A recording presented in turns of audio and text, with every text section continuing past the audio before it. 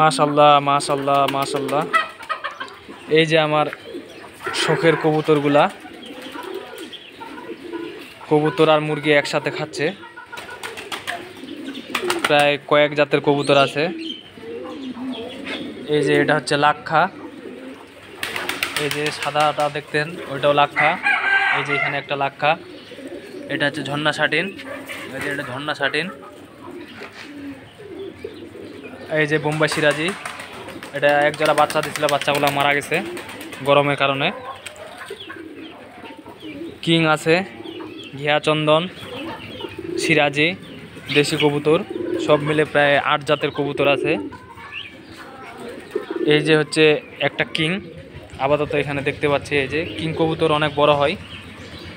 একেবারে ব্রয়লার মুরগিগুলোর মতো দেখতে হয় মানে লদর বদর। আর এটা হচ্ছে দেশি কবুতর বাচ্চা, এই যে স্বাভাবিক। এটা হচ্ছে কিংয়ের করস, এই যে লালটা। আর এই যে ঝর্ণা সাটিন এক জোড়া আছে।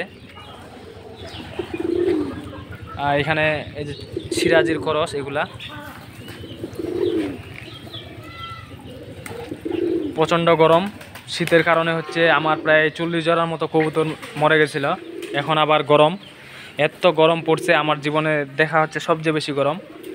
গরমের কারণে হচ্ছে কবুতরের ডিমগুলা নষ্ট হয়ে যাচ্ছে, আর বাচ্চা দিলেও হচ্ছে বাচ্চালা মারা যাচ্ছে ফুটে ফুটে।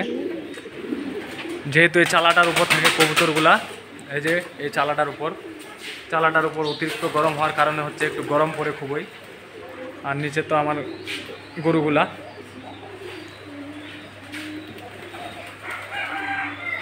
চালাটার উপর গরম ভালোই।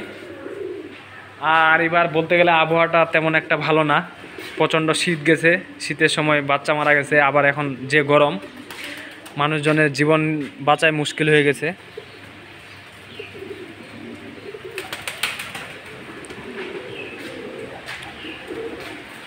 এই যে এখানে একটা কবুতর বসতেছে। আর এটা হচ্ছে গরু, পা দিয়ে খিচা লাগছিল, এই জন্য ওটার পাটা একটু সমস্যা হয়ে গেছে হালকা। উপরে আরও অনেকগুলা কবুতর আছে। এই চালাটা আপনাদের অনেক ভিডিওতে দেখাচ্ছি। এই যে চালাটার বর্তমান অবস্থা।